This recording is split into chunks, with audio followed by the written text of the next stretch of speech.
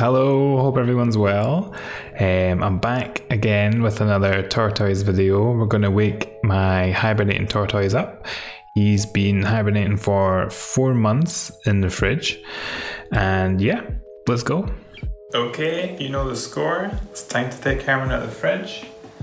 So Herman has been hibernating in the fridge for four months now. Um, the reason uh, we keep them in the fridge, the long story short, is it keeps them at a stable temperature. So this is Herman's fridge.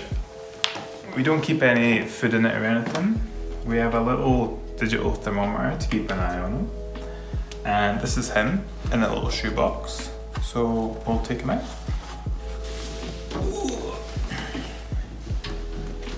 Here we go. See how he's doing.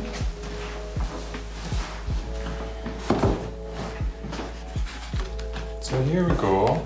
I've wrapped them up in newspapers and I've been weighing them every week or so and just checking in. He is.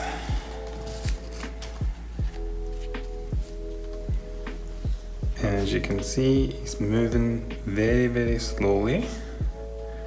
So what we'll do is we'll put him down and we'll just give him a chance to kind of um, come up to temperature, come up to room temperature, like a ball of wine, and slowly wake him up.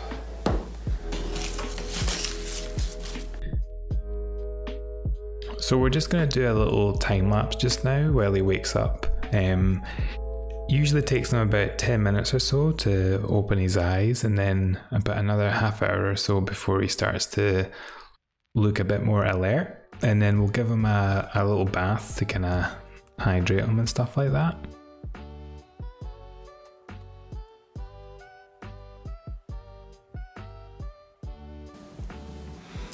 Okay, so Herman's a bit more alert now. So we're gonna give him a little bath.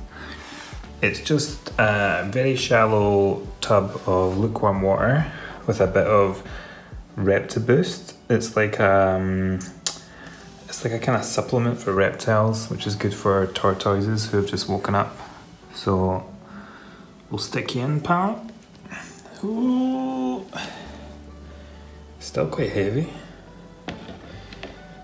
And remember, hydration is very important for tortoises. They need to drink, they need to get baths a lot of the time. And he hasn't drank anything in four months, so it's good to let him kind of soak up the water a little bit, get hydrated, and then hopefully he'll be back to normal in a couple of hours. Okie doke.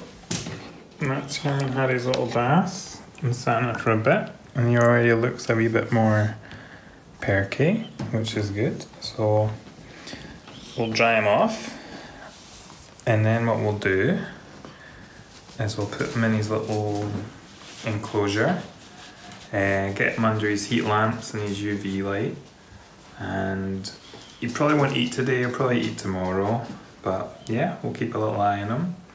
Seems good. Back to normal. And there he is. As laddie. Like nothing happened. Still a bit grumpy. Welcome back, pal. You know, I've been doing these videos for five years now, and it's always so interesting to look back on kind of and think about how things have changed or how I've changed. But it's funny, I think like Herman's like a he feels like a constant, like he doesn't change at all. It's it's the same it's the same Herman doing the doing his same little routine. Um, and I'm still fascinated how this animal can hibernate, can just go away for four months without eating, um, even go in the fridge for four months, and then you know wake up. Take a little while to wake up, but once he's up, it's just like it's like nothing's nothing's happened. It's crazy. Um, as per, I always get a lot of questions when I do these videos. The big one's a fridge one. Um, why a fridge and can he breathe in a fridge? And yes, he can breathe in a fridge.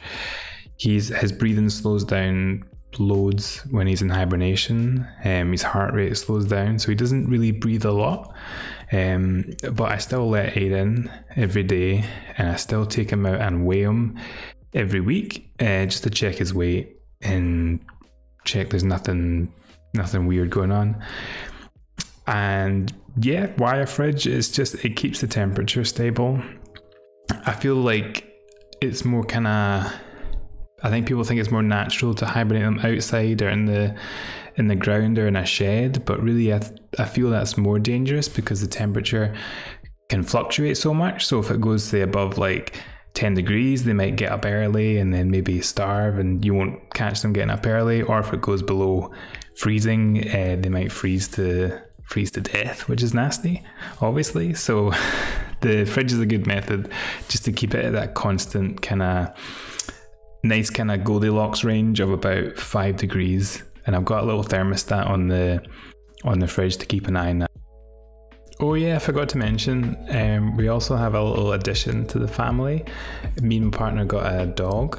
Uh, her name's Molly. She's a little rescue, and she's two years old.